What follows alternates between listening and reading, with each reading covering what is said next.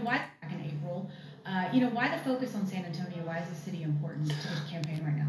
Well, yeah, I, have been coming here for a long time anyway, and friends all, all over the place. This, the, the relationship with Texas sort of started through my outdoor hobbies and you know hunting, fishing. Shoot. Texas sort of started through my outdoor hobbies and you know hunting, fishing, shooting, uh, all, all the stuff that's a little harder to do living in the People's Republic of New York. Texas sort of started through my outdoor hobbies and you know hunting, fishing, shooting, uh, all, all the stuff that's a little harder to do living in the People's Republic of New York relationship with Texas sort of started through my outdoor hobbies and you know hunting, fishing, shooting, uh, all, all, the stuff that's a relationship with Texas sort of started through my outdoor hobbies and you know hunting, fishing, shooting, public of New York. Uh, but the reality, we just have a lot of friends here that have just been really good to us from day one. Uh, you know, in 26 campaign right now.